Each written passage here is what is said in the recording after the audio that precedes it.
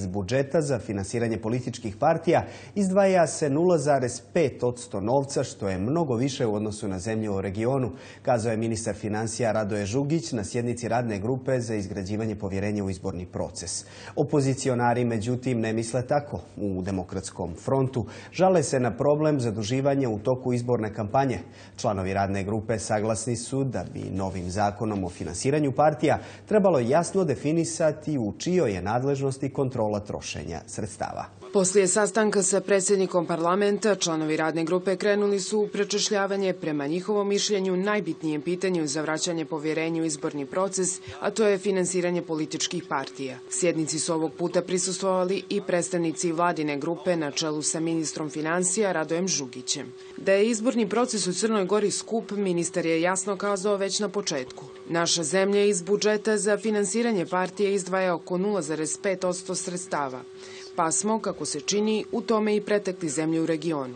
U odnosu na region imamo stopu izdvajanja koja je 0,5% od budžeta, a samo da podsjetim da je predlog bio ovom domu 0,4, pa je onda konsenzusom usvojeno da to bude 0,5, da je to i deset puta više od, recimo, onog što izdvaja Hrvatska, što izdvaja Makedonija. Nekoliko puta više od izdvajanja u Srbiji, ali i u Bosni.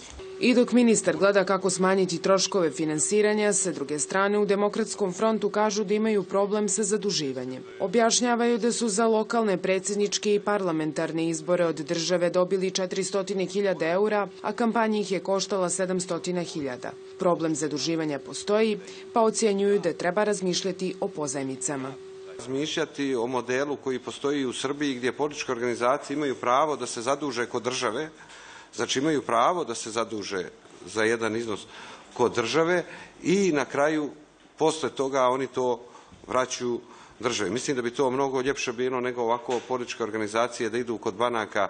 A kako bi finansiranje partija bilo jeftinije, u nevladinom sektoru mišljenja da Kajiš treba stegnuti u dilu koji se odnosi na plaćanje poslovnih prostora pojedinim partijama. Imamo dva predstavnika vladajuće koalicije koje ne žele da se isele iz grade koju su ranije, čiji su ranije bili vlasnici. I onda da bi se olakšao prostor, državi je bilo lakše da kaže u redu, ajmo sad i svim ostalim političkim partijama da platimo prostoriju. Ako je to problematično s aspekta financija u ovoj državi, to već danas možete da ukine. Suprotno je zakon o finansiranju političkih partija. Pored finansiranja članove radne grupe brine i u čijoj nadležnosti je kontrola trošenja budžetskih sredstava. Da li je to državna izborna komisija ili državna revizorska institucija ili pak neko treći. Dakle, jasna razgraničenja ko šta treba da radi u ovom procesu. Nije nešto što bi nam trebalo oduzeti vremena pa da govorimo da ćemo o ovome zakonu se baviti u decembru ili januaru mesecu. Nevladin sektor predložio da tu funkciju obavlja neka nova institucija. U Demokratskoj partiji socijalista nisu baš za tu ideju. Kažu da su više za varijantu razgraničenja nadležnosti između državne revizorske institucije i državne izborne komisije. Čini mi se da mi često puta u uslovima kada, kada pojedine institucije svoj posao ne rade do kraja kako treba, kada to zakon nije do kraja definisano, onda nalazimo neko rešenje, ajmo da formiramo novu instituciju.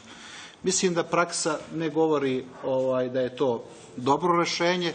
Iz Državne revizorske institucije poručuju da Državna izborna komisija treba da vrši nadzor u toku izbornog procesa. DRI ipak ima drugu funkciju. Dok Državna revizorska institucija mora izričito i jedino biti zadužena za reviziju godišnjih konsolidovanih finansijskih izvještaja. Članovi radne grupe saglasni da je dosta posla već urađeno. Sugestiji i komentari su razmijenjeni, pa bi ubrzo trebalo da se krene i sa izradom nacrta zakona, koji će dalje biti prosljeđen vladi. Sporazum o međudržavnoj granici Crne